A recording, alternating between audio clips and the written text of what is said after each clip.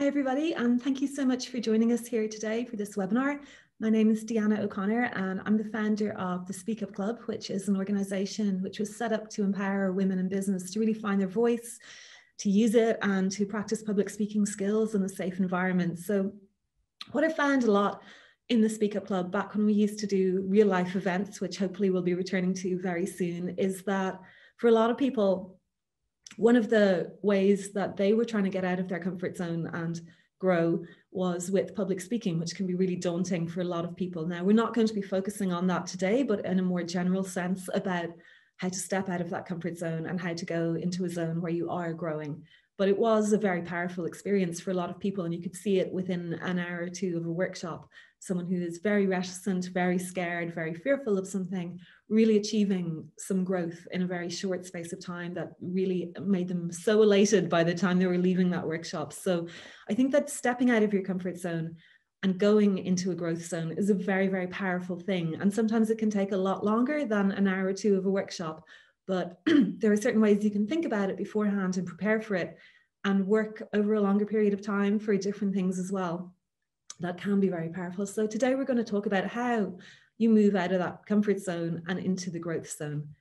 So first of all, let's look at what is growth exactly. If you're going to look at sort of the dictionary definition of it, it's all about developing. It's this process that you're going through.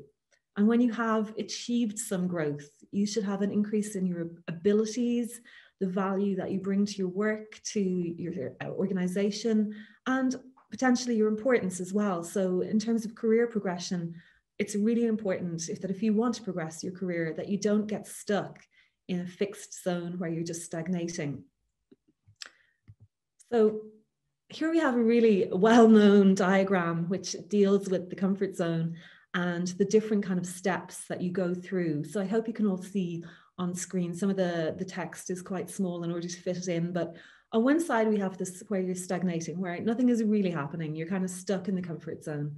And where we want to get to is to get to this point where you're really flourishing growing learning achieving fulfilling all your dreams all that wonderful stuff. So i'm going to first take you through sort of those different zones that you work through and what you go through in those zones. So the big old comfort zone is where we're kind of mostly are naturally, and it's kind of our natural state, and it's where we feel safe, we feel in control. It's very familiar, it's very secure. It's not necessarily a bad thing to have a comfort zone because as human beings, we need to feel psychologically secure, we need to feel safe. It's very important to have that kind of structure and security there.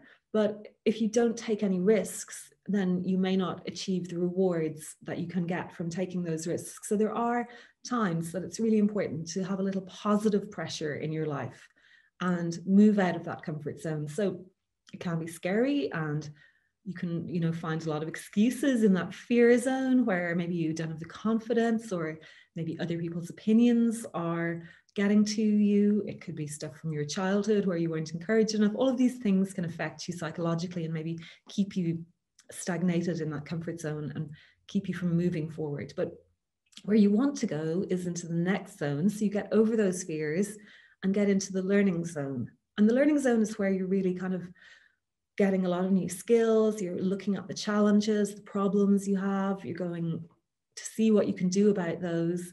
So you're extending out of that comfort zone and you're enhancing your motivation and you want to learn more and keep that going. And then finally, you'll get into the growth zone, which is a great place to be. It's where you're really finding your purpose, living your dreams, all of that amazing stuff is happening. You've mobilized your creativity, you're finding that you're achieving objectives, things are coming together, you're feeling fulfillment.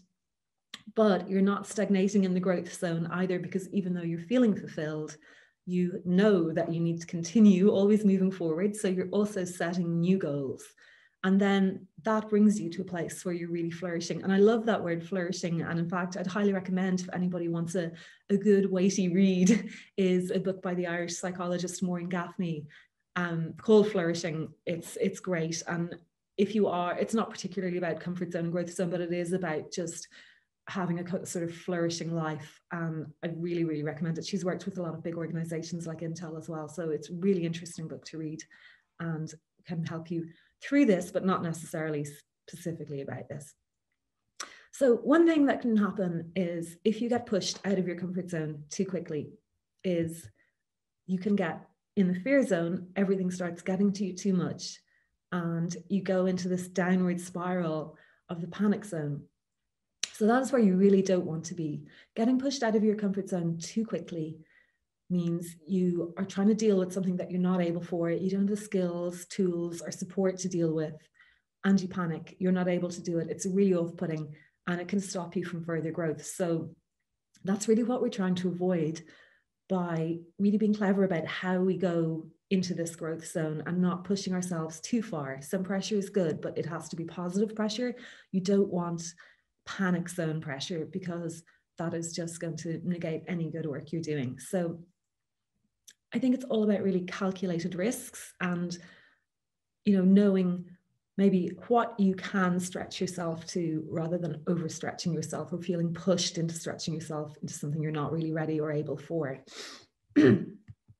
so, first of all, we just want to kind of go is there anything that's holding us back? Because sometimes we're going, oh no, no, I think I'm not ready or able for this, but you are really, you and you're just not going there. So there are organizational inhibitors which can be you know in your company that you're working in it can be organizational culture and that can be very damaging in terms of if you feel like that if you try something new and maybe fail that there might be some punishment for that or maybe your organization isn't good at you know cpd continual professional development or you know just sending people on courses things like that. Or you might even feel like there's some unconscious bias towards you um, that you know maybe i mean in terms of gender maybe men are put forward for things where women aren't or things like that or based on ethnicity or race or any of those things that maybe holding you back. There's also sometimes you can feel like there's just not transformative roles in your company. Maybe there aren't the the opportunities to move forward and grow in your role but we can often blame all these organizational things but ultimately we you know we as people can grow ourselves and we don't have to stay with that organization forever. So if you take on some personal growth you may find a role outside that company that's a better company and a better fit for you. So i don't think an organizational inhibitor should be a real inhibitor to your personal growth because there's more to life than work as well so it needn't be about work as well it can just be about personal growth so our own personal inhibitors tend to be around our confidence self awareness and motivation. Now, our confidence, maybe a lack of confidence is holding us back, a lack of motivation can be holding us back. We don't see maybe the actual reward of doing something, and maybe we need to change our mindset and go, well, actually, if I do this thing, what potentially could I gain from it? There is perhaps a reward inside. Inside. The other one in the middle there, self awareness, I think can be an inhibitor because we don't realize that we are stuck or stagnating or need to grow. So actually, we might not be aware that we are kind of just letting ourselves stagnate in our comfort zone. So sometimes we may we might need someone else to point that out to us, or a life event that might give us a little shake up, and we realize that actually we've been doing the same thing the way we've always done it, and maybe we've been passed over for promotion, or maybe we've stayed somewhere that's not really fulfilling us. And that can make us realize that we haven't had a good look at ourselves and thought about our own personal growth. So some of the foundational principles of growth that I want you to think about are agility, professionalism, and innovation. So these principles are really kind of underpinning any growth that you have. And this can be in terms of growth as a person, growth of a business, um, they're all kind of relevant to all areas of life. So agility is something that I think we talk a lot about in business these days and being agile. And, you know, the past year has been a great example of how important that is because in so many ways of working, people have had, in small businesses especially, have had to really change how they do business.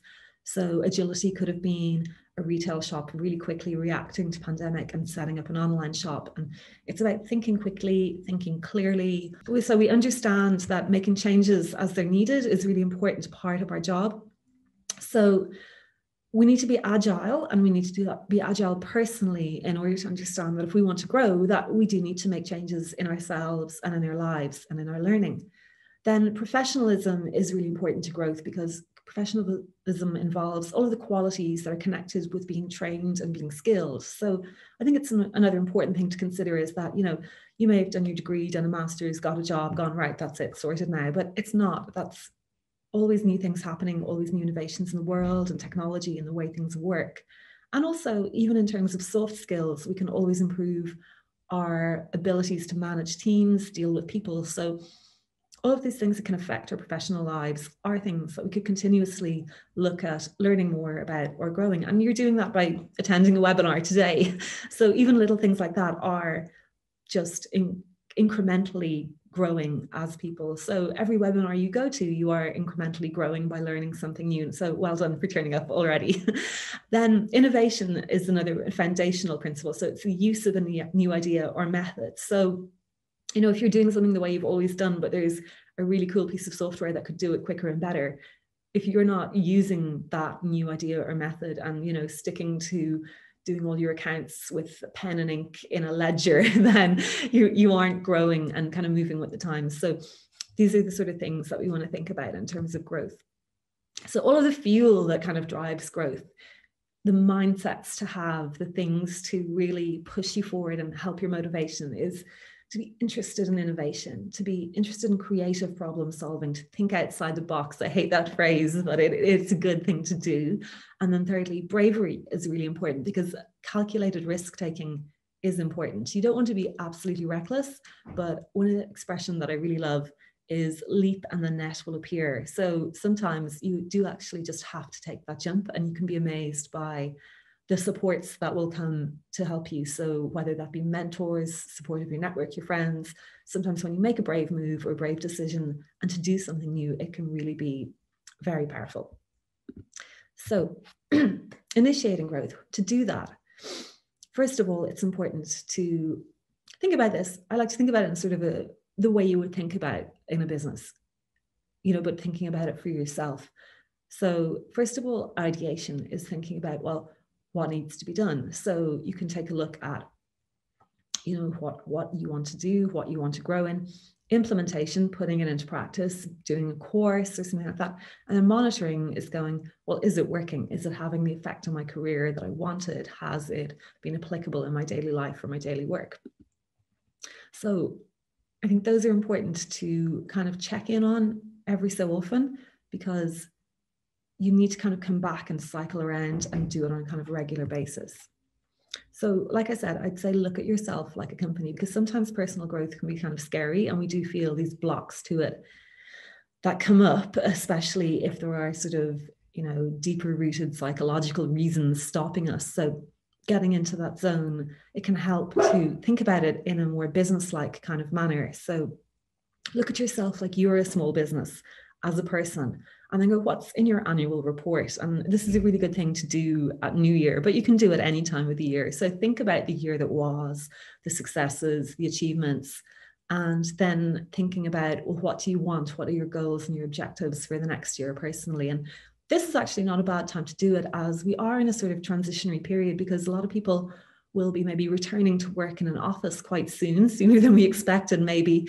And I think it's a time when things are changing. So it's a really good time to look at how you want to return to work, how you want to return to the office, and what person you want to be, and what you want to achieve in this sort of new, new kind of era of our lives we're going into right now. So you can look at kind of what you have to work with. First of all, it's good to look at, say, as a company with their asset mix. So what you have already is your education, you have your experiences, and then you also have all your soft skills like communication, emotional intelligence. So, looking at your sort of asset mix and what you have to offer, uh, definitely in terms of career progression, then you can look at, well, what maybe can I add to this that will have give me another string to my bow, give me something extra, and that could maybe, you know, improve my career. But I definitely wouldn't leave the sort of soft skills side of that out. I do think that they are becoming more and more important in the world of work in general, and certainly making the difference in terms of leading teams and managing. They're hugely important skills that are being recognized more and more. So it isn't just about the more tangible skills as well. And there may be some things in that mix that you want to think about in terms of your broader life. So, you know, do you want to grow in terms of the amount of kind of engagement with your community or some, some volunteer work or getting involved in a sporting team because those are really important to look at in terms of your broader kind of balance in your life as well. So just keep remembering the most successful companies, if we're looking at ourselves like small businesses, how do the most successful companies keep changing with the times? They keep adapting and they keep evolving. So if we treat ourselves like a business, we keep adapting, we keep evolving, we keep looking at what's out there and what is working in the marketplace, and then what we need to add to our asset mix to, to actually be relevant to that marketplace. So I say challenge yourself and give yourself a target. And I picked 110% better than the previous year because I was going to say 150%. But if you're looking at your asset mix and say you've chosen education or professional development and you already have a PhD, well, you're not going to get 50% more PhD in the next year. So maybe 10% more. Maybe you can do one course that takes a year, or you can get part of a course done. So I think 110% better is a, is a good kind of solid very achievable amount. And if you go over, that's even better again. But definitely think about every year something in some way. Some years you won't have as much time as others, but give yourself a goal where you are going to definitely improve or add something to your asset mix by 10% at least. So look at the previous year, what you did, what you achieved, what you learned, look at those gaps in the mix, look at what you want to fill them with, but then, and this is the kicker, this is the really important one. And I think this is where you should really lean into is what am I afraid of? So, what are the things that I actually feel, mm, I don't want to do that? I'm kind of scared of doing that. And this is something that when I've had people in Speak Up Club workshops, they come into the workshop, they don't know what's going to happen. And then when they realize that they're going to have to get up and speak in front of a room full of people, that's what they're afraid of. That's what their block is. And that's what they don't want to do. But with a little bit of cajoling and support when they do that. That is what they are most proud of, and that's what they are most happy they've done. So sometimes looking at what I'm kind of a little bit afraid of doing is the thing that you might get the most fulfillment and achievement from actually doing. So I'd always ask yourself that question because if you're not a little bit afraid of doing the thing, are you really stepping out of your comfort zone at all? If you're not afraid of it, you're very comfortable doing it.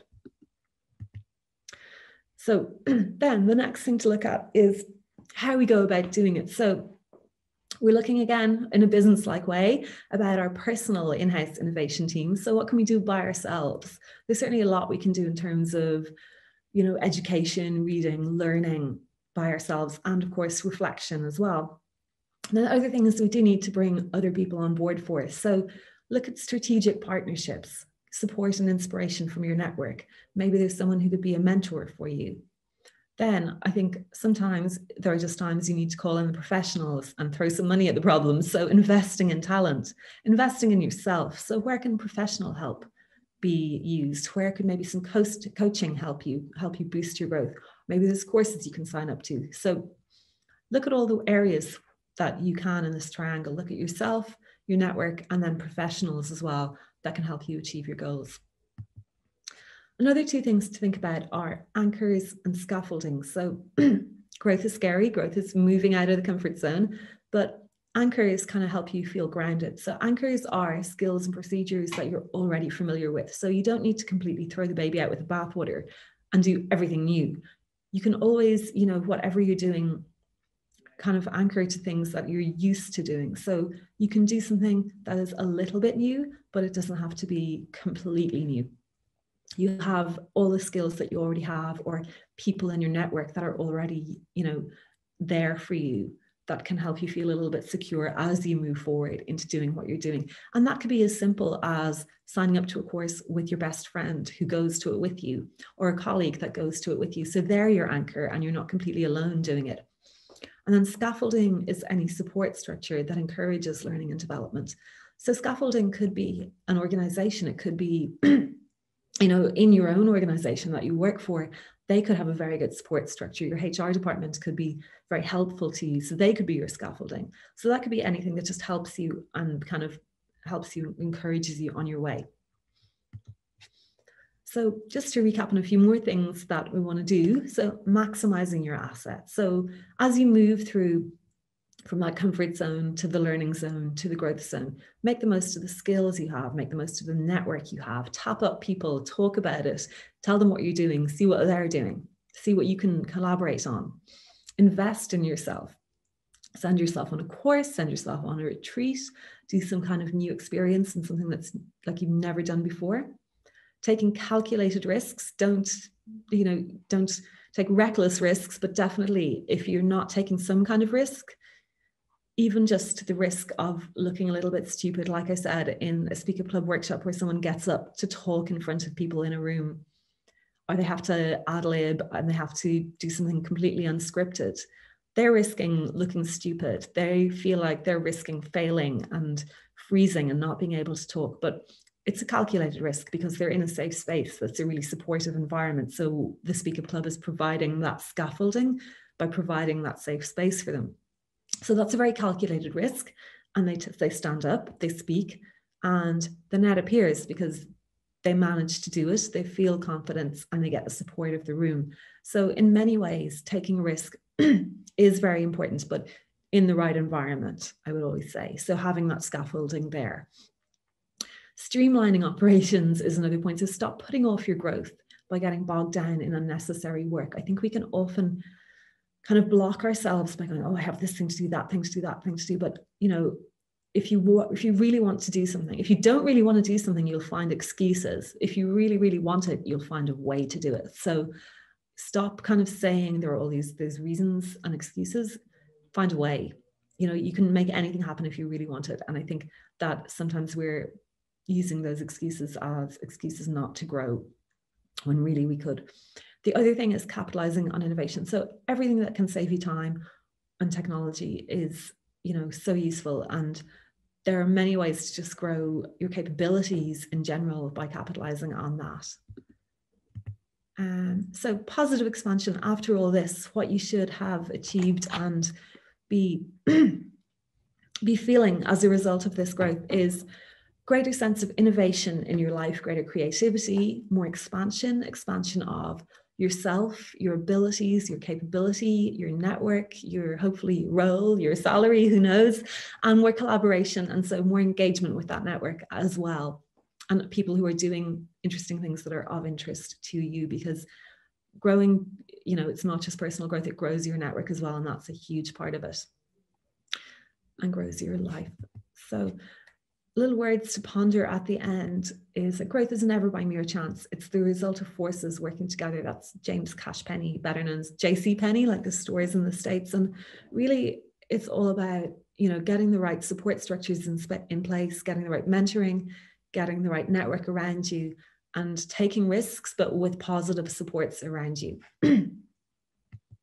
so if anybody else would like to contact me, these are my contact details at the Speak Up Club hopefully be getting back to doing some real life workshops soon, but we'll be continuing with some more webinars here in um, Iconic, hosted by Iconic offices. And I'm not in there right now, unfortunately, but you can contact me in any of these um, email or phone, and I will just tell you uh, when our next webinar is coming up. I think I have uh, Wednesday, the 7th of July, we'll be doing showcasing your brand's personality on social media.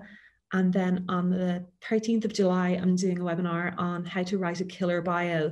And I'll be sending out a workshop worksheet in advance of the workshop um, on that. And we'll be working, it's a very much working through it in the workshop way. So it'll be more of a workshop than a webinar for that one, but I really look forward to those two coming up soon.